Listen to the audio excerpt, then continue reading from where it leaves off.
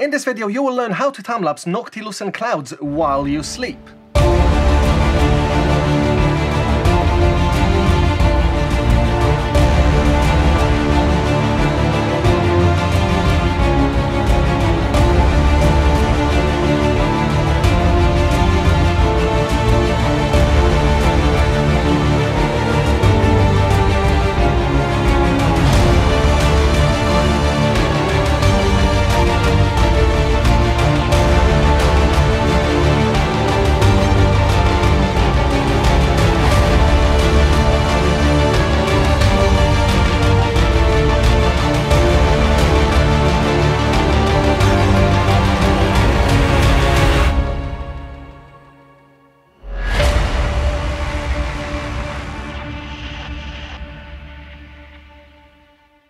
Hey guys, my name is Michael Thomas. I'm a London-based time-lapse architecture and cityscape photographer, and as I specialize in time-lapse, not as much in astrophotography time-lapse, but I've grown fond of shooting the NLCs at my balcony automatically throughout the night, as well as above London. I had a chance to do that a couple of times, and in this video I want to share this knowledge and help you shoot better time-lapses of the noctilucent clouds if you're out and about shooting time-lapses, or just want to leave your camera on your balcony pointing north off and get some cool time lapses overnight, all while you sleep. Let's briefly start what the NLCs are. NLC stands for Noctilucent Clouds. From Latin, it actually translated as night shining clouds, and they also have a formal name, polar mesospheric clouds, but that never caught on. So from now on, we're going to be referring to them as NLCs. So what are NLCs? They are ice particles that are forming 85 kilometers up in the mesosphere, and they get illuminated by the sun behind.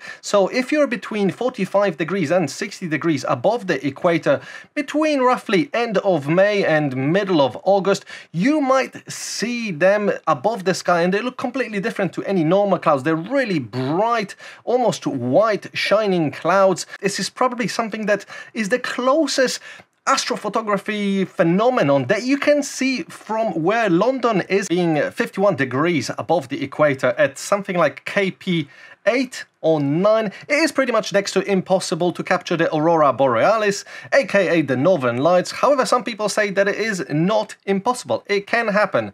I've never seen it. However, if you're somewhere like north of Wales, Scotland, top of Scotland, Inverness, yeah, I've seen videos and time lapses of the Northern Lights. However, round here in London and below us, NLCs are the next best thing you can get. If you want to learn more what the Noctilucent clouds are, Alyn Wallace did a fantastic video with stunning visuals explaining where can you see them, how they happen, so go and check out his video to learn more about NLCs. And now we can jump into how to actually capture them, what settings to use, and what was my experiences last year, which was the first year that I was capturing NLCs, and I've captured a fair few of them from my balcony, leaving the camera overnight.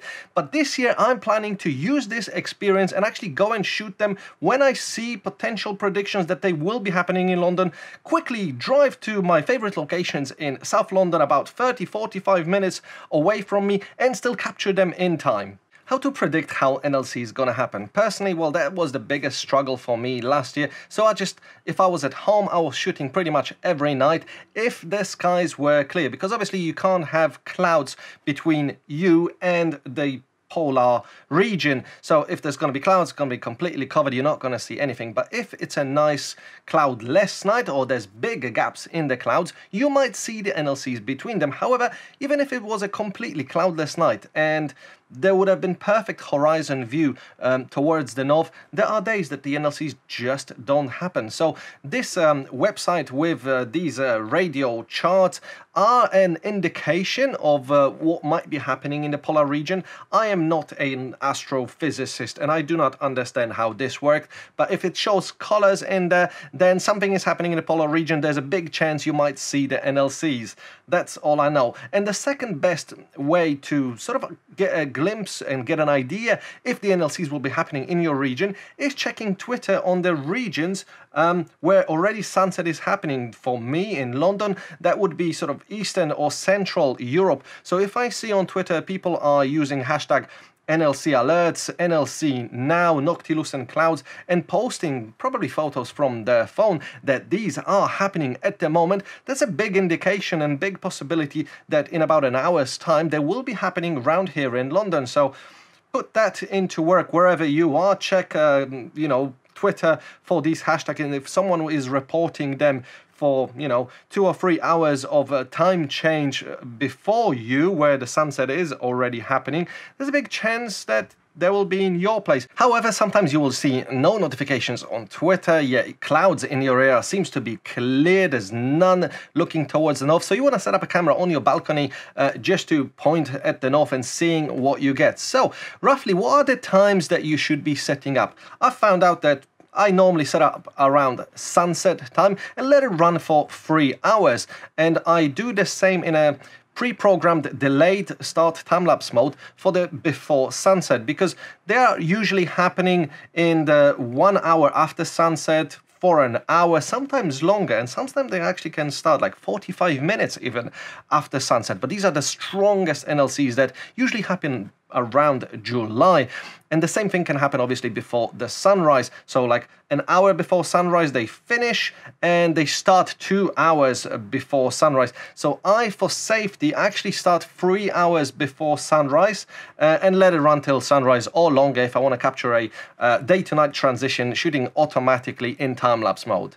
Next up on the list is composition, uh, angle, direction. Where should you shoot and where should you point? What lenses you should use in terms of focal length. Personally, as an architectural photographer, I never tilt up. I always use shift lenses but in a way, this is about the sky and not the foreground. The foreground is there just to add a little bit of information where you are in the foreground, but it is all about the sky. So the foreground usually takes only the bottom part of my uh, composition as I do tilt slightly up. The same pretty much applies to shooting Milky Way. The foreground can be uh, converging a little bit because you are focusing on the Milky Way. Hence in astrophotography, uh, straightness of your composition and architectural lines don't really take the first priority. It is all about the night sky. I choose to shoot between the two of my fastest lenses when shooting the NLCs, the 20mm f1.8 that I'm currently filming at the moment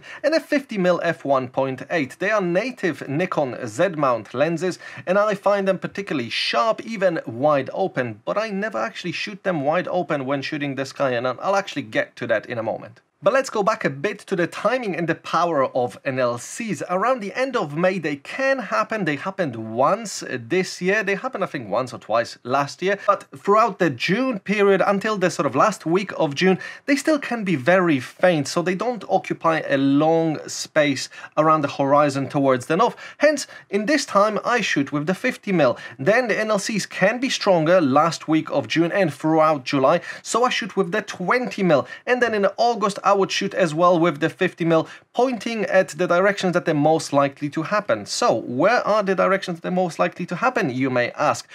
After sunset, I wouldn't shoot towards directly the north. I would point a little bit to west. So capturing north at the corner of uh, the 50 millimeter image and pointing slightly to the west. And for capturing the NLCs just before sunrise, I would do the opposite. So left side of my frame would be towards the north and it would be sort of capturing a little bit of the east view. And that exactly applies to the 50mm as well as the 20mm throughout July. I change the direction if I can reset the time lapse at around midnight. If I can't, I would roughly position it just looking perfectly straight towards the north because it would get me some of the stuff happening after sunset and potentially some of the stuff happening before sunrise. So with a 20 mil, that would give me quite a lot of field of view to capture them and uh, use 4K crop out of the 6K images that I would capture in that 20 millimeter view. Now the exciting part, gear. What gear should you use when shooting the NLCs? Call me biased, I use the Nikon Z system and especially the Mark II, Z6 Mark II and Z7 Mark II, like the one that I'm currently using, currently on loan from Nikon, but my Z6 II order is coming next week, so I'm very excited about that. Why the Z6 um, is my personal choice? Because I believe that the Nikon Z system offers the best time-lapse features in any system at the moment. Nikon cameras produce fantastic photos and they are just slightly behind on the video features that other manufacturers and brands actually do slightly better. But when it comes to time lapses, and that's predominantly what I do, hence I choose the Nikon Z system. The features I've covered in multiple videos, why they are superior to some other cameras, so I don't want to repeat myself, but I will mention some of the things that I utilize when shooting with the Nikon Z system to capture the NLCs. So when it comes to a camera, I recommend you the Z6 system or just at least a full frame camera if you're shooting with another manufacturer. You choose a camera that can power by USB because sometimes one battery might not be enough or you have this dual battery grip or just a standard battery grip that can take two batteries that will give you juice for enough to shoot for over three hours, maybe even a whole night, or if your system supports it, there are dummy batteries that you can plug into your camera and then put it all the way to the mains system so that it will power continuously forever. I do love about the Z6 II and Z7 II series that they can power via USB and still continue shooting where my Z6 that I was using before could only power it and not work at that time. So I'm really looking forward to upgrading to the Z6 II for that reason. Next up, memory. Probably the bigger card, the better, because you're going to be capturing images for three hours after sunset and three hours before sunrise. And at the interval of around 7 to 10 seconds, which is my preference, you need some serious storage. 128 or ideally a 256 gigabytes card is probably recommended for shooting an overnight at these intervals if you're just planning to leave the camera and let it go throughout the night to get a smooth, nice bit of video for the after sunset and before sunrise NLC. If you're going to be out and about, most likely you're going to be shooting on a tripod. The sturdier the tripod, the better, because you don't want any shake throughout the time lapse. While when I'm at home, I'm shooting on this clamp because I can mount the camera to a slightly higher elevation on my balcony, and I don't have to worry about it wobbling at any sort of wind, because this is very sturdy. You clamp it really strong, and this is not the only support that I rely on. What I also then do is attach a leash around the camera connected to um, one of these Peak Design clips. I do really like Peak Design for these clips and this goes around another sort of uh, anchor, another attachment, just in case something would have happened. I would not want my camera falling onto someone's balcony, crashing it, destroying it. So always have at least two points of support. So one, this should not fail, but just in case it does, I have a leash. Of course, you will also need an intervalometer, external one, or if your camera system supports an internal intervalometer, then it's fantastic too. Thankfully, the Nikon Z system's fantastic feature is it offers an internal intervalometer that can save RAW files, while at the same time it actually compiles a 4K video, which is a fantastic addition to the Mark II series of the Z6 and Z7, which I utilize literally every time.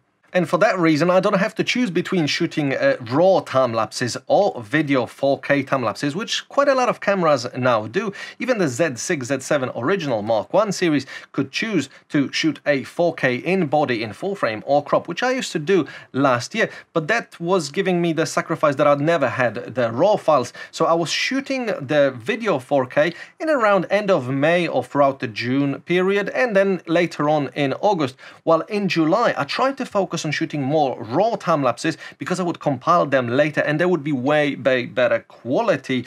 But with the Mark IIs now, I can actually save the RAWs and it will automatically generate me the 4K time-lapse.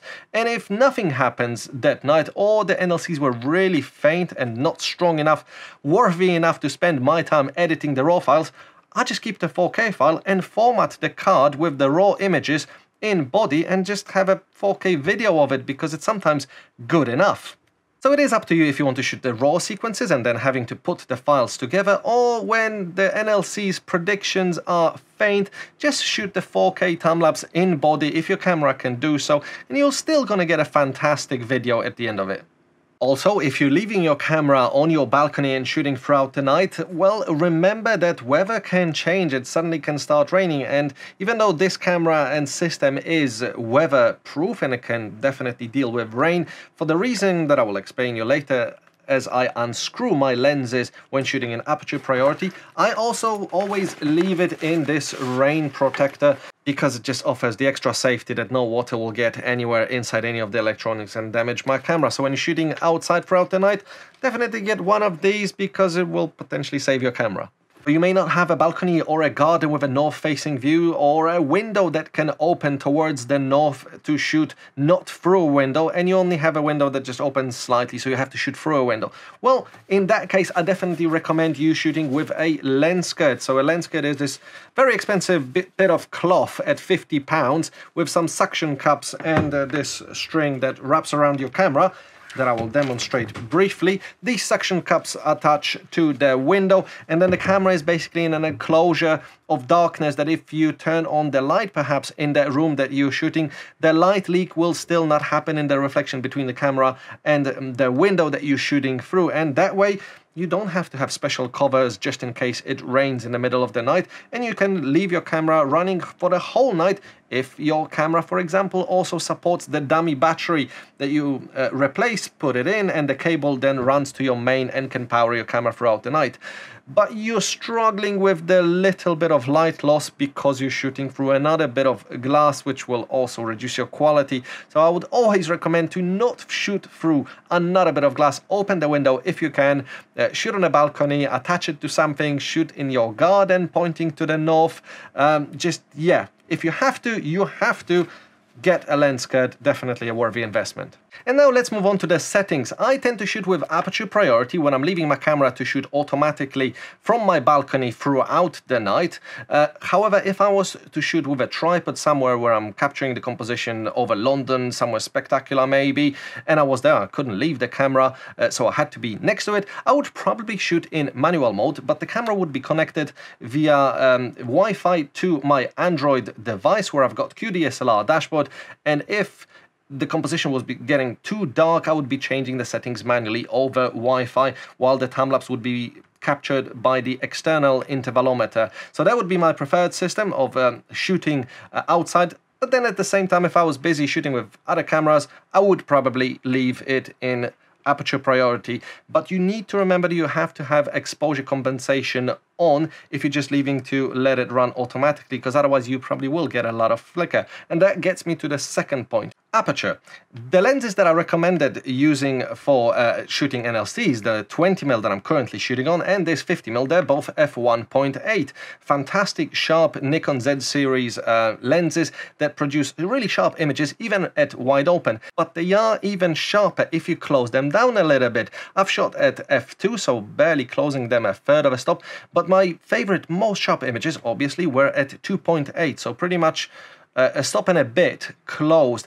However, you have to figure out if your lens will flicker the aperture, basically opening and closing it when fully connected. And there are ways that different manufacturers have different ways with Nikon in order to keep the apertures from not moving in your native Z lenses. I do a long exposure at the set aperture that I want with already a focus preset on where I need it to be and during that long exposure I unscrew the lens without touching the focus ring and then all the electronics are lost between the lens and the body and it stays at that set aperture at that set focus so then the focus ring just doesn't work. But nothing happens then during the time lapse. So I do the f2.8 set my focus uh, do a long exposure unscrew it and then start the time lapse. Next up, interval, either on the external intervalometer or on the in-body time-lapse mode intervalometer. I tend to shoot at around 9 seconds, but I've seen that between 7 and 10 seconds you get a really nice long time-lapse of the NLCs because they move quite slow. You don't have to shoot faster because clouds can move much faster, but NLCs really don't. Uh, I've been shooting up to 15 seconds and that was okay, but shooting anything more than 15 seconds, you're not really going to get a long video out of the NLCs because they happen and they appear in the sky. If they're even really strong, for barely an hour, I think. So to maximize that, I figured out that around 9 seconds is my preferred interval for shooting um, NLCs. And that 9 seconds allows me to go into the next point, which is ISO. What ISO am I shooting? I set auto ISO up to uh, 8 seconds maximum shutter. And unfortunately here is where I have to mention that this feature is only available as far as I know on Nikon and Sony system that you can choose a longer shutter than one second for auto ISO. Thankfully my Nikon does it and it was one of the crucial features when choosing this system because it could do it. I choose 8 seconds maximum shutter so that the shutter will go all the way to 8 seconds and only after 8 seconds if the composition needs more light the ISO will start rising and with 8 seconds exposure and f2.8 pointed at the sky my ISOs usually get no more than 200 or 320, which are super low levels of ISO. The images are still perfectly clean. I'm super happy with it. Even if I wasn't shooting RAW and just shooting the video time-lapse, at ISO 320, your video is still super clean, 8 second exposures, low ISO, completely fine. However, if your lens is only, for example, f4, as lots of lenses are, I would then recommend you actually do shoot wide open at f4, and your interval, for example, be 15 seconds to keep the ISO low because then you still be at around 200 potentially. Set your maximum ISO shutter to 12 seconds or 13 seconds to give at least 2 seconds time for your camera to write the file before it starts taking the next long exposure. If you do end up shooting in aperture priority mode, what should be your exposure compensation, the EV plus minus? Well, I would actually leave it to zero if you're shooting RAWs, because most likely you will be able to recover all the bright stuff that will be happening, because NLCs can be really bright, and most likely camera will measure everything correctly, or probably shoot a third of a stop lower to be safe. White balance, again, if you're shooting RAWs, it is really not important. But when shooting a video time-lapse, that look is basically baked into a H.264 MP4, which doesn't really handle uh, changing a white balance in post that well. Hence, the settings that I use is actually keep the whites, reduce warm colors in the auto white balance settings on my Nikon, and I'm sure other manufacturers have a similar auto white balance modes that just isn't standard auto white balance, but usually there are two or three auto white balance modes to either reduce colors, uh, keep the overall atmosphere, or, or increase warm colors. Definitely go for the reduce warm colors.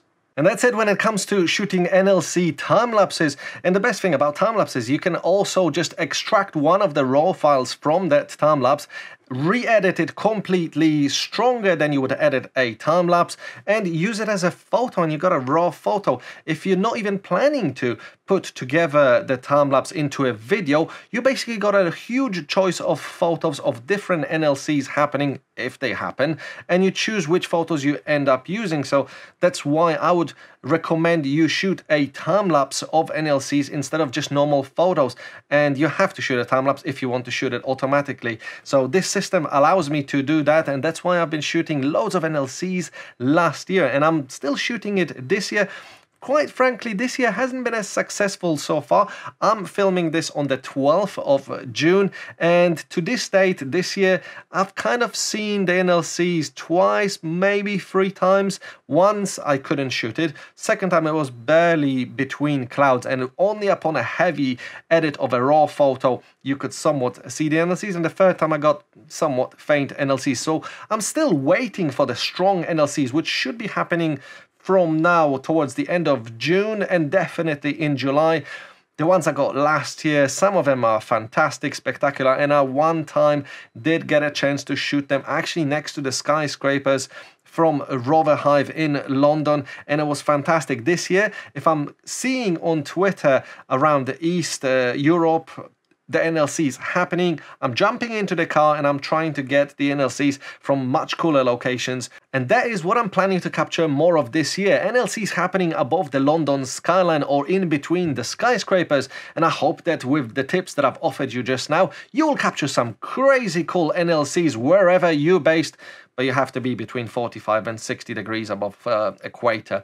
So yeah, if you're there, you'll capture some crazy cool NLCs. So thank you for watching. My name is Michael Thomas. I'm a London-based time-lapse architecture and cityscape photographer. You can follow me on Instagram at London Viewpoints or subscribe, like and comment this video for more videos that I show around London, best views in London, time-lapses from elevated unique viewpoints to experiences and walks by the river that you can find some crazy cool skyline uh, cityscape views too. That's the kind of stuff you can see on my channel and an occasional gear review or a tutorial how to capture certain special things because the NLCs are the closest thing to the Northern Lights as I've explained earlier. Enough waffling. Enjoy your day. See you in the next video.